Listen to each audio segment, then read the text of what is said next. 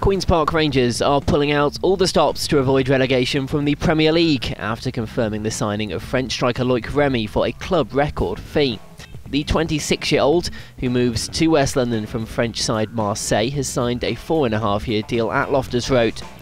Remy has played 17 times for his country, scoring four goals in those games, and could be in line to make his debut for his new club in their clash with West Ham United on Saturday.